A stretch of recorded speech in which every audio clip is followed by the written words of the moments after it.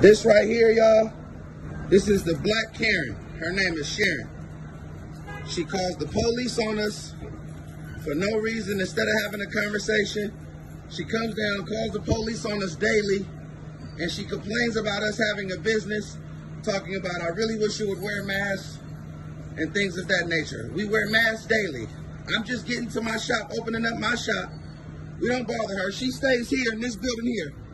She puts up noise cameras. Look at these noise cameras. She puts up cameras that's invading our privacy. These are illegal cameras that she puts up to show us that she's monitoring us. She harasses Unc daily. She sends emails to the landlord and the owner all the time. And for the first time of her ever having a conversation with me, she says, I wish you'd wear a mask.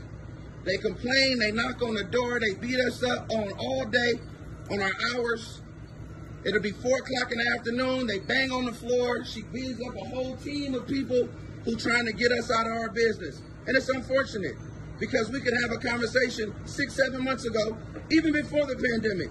The dialogue could have happened. But instead of that, she'd rather call the police, knowing when the police come, they don't come to solve problems.